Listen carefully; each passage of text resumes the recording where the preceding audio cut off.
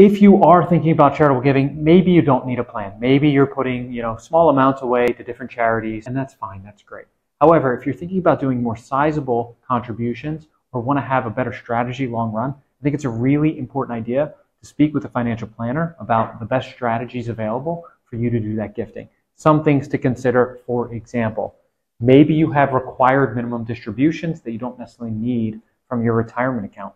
Those could be a way that you could repurpose that and uh, gift that required minimum distribution away, saving you potentially some taxes and deferring that to the uh, to the organizations.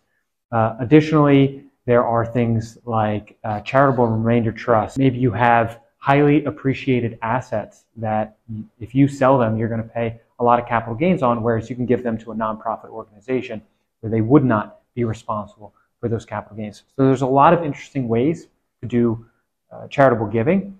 And if that's something that you're interested in at the end of the year, speak with your financial planner and come up with a strategy to best dispose of those assets.